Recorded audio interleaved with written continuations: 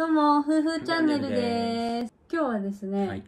ずっと密かに憧れていたステンドグラスクッキーを作ってみたいと思いまはす。ね、もうね、生地はね、一緒に協力して作ってあるので、形を作るところからやっていきたいと思います。い。はい。まずは、うん。あの大きい周りのクッキーを作っていきたいので、うん。この丸うん。のクッキーをやります。うんで、ここに、この飴が入るところうん。のクッキーをこうやってくり抜いて、うん。ここで完成。ああ、そんな感じか。そうそう、だから丸の係と、うん。みたいな。夜丸係。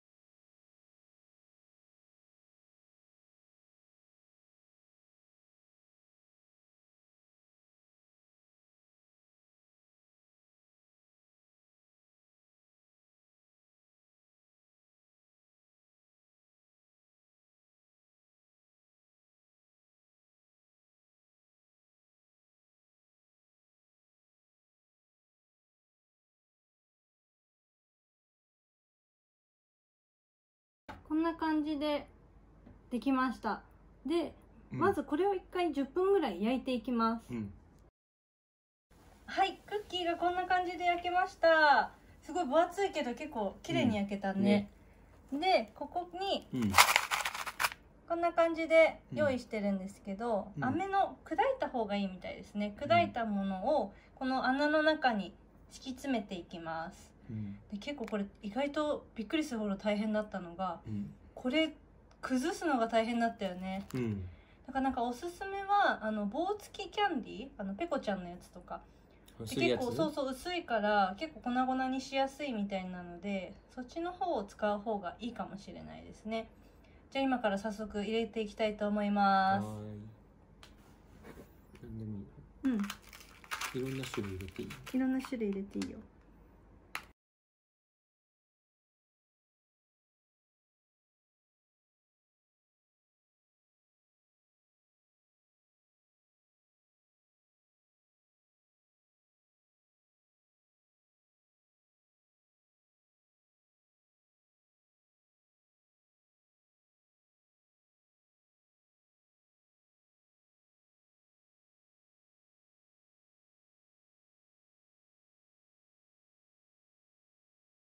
はいじゃあこんな感じで入れてみました、はい。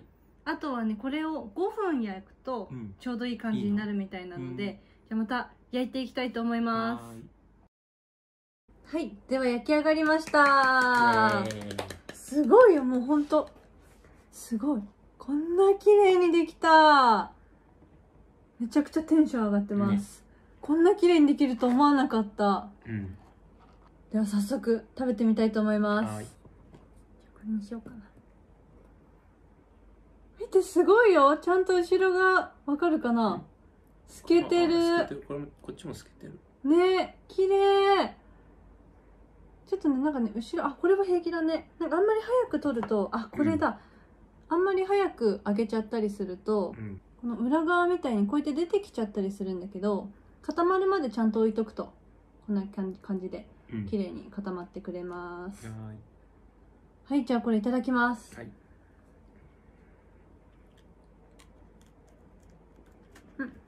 一口じゃうん。たどたどり着かなかったうん。うん、クッキーが美味しいうまっうん、パリって言ってるうん。食べちゃった。どう？うん。美味しい。うんちょうどなんかいいアクセントになって。うん、美味しい、食べかけだけど、うん。これすごい美味しい。大成功。うん。ちょっとね最初ねなんか焦げたりとかさなんかうまく飴が溶けないとかみたいな感じでちょっと怖かったりしたんですけど結構大成功で作れました、はい。本当にねこれ、簡単に作れるからぜひ作ってみていただきたいと思います、はいじゃあね、今日はこんな感じで終わっていきたいと思います。今日もご視聴ありがとうございます。またね。